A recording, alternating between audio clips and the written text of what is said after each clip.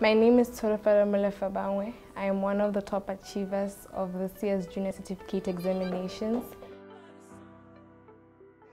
I was offered CRACKiT tuition by Mr. Thapelo Johani in 2018 when I was the best overall student in Francistown in primary school leaving examinations. I started the tuition when I was in Form 1 up until I completed my junior certificate exam. Yes, my junior certificate. Yes.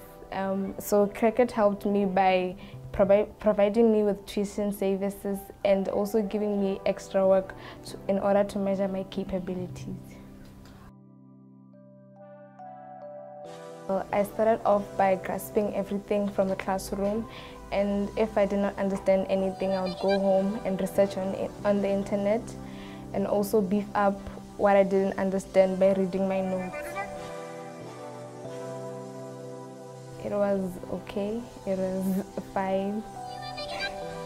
Yes.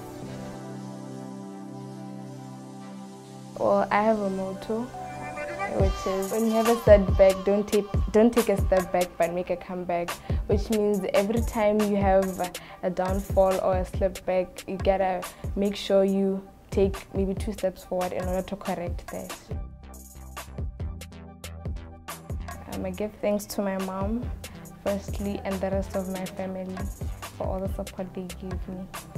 Even my teachers at school and even my tutors at CRACKiT.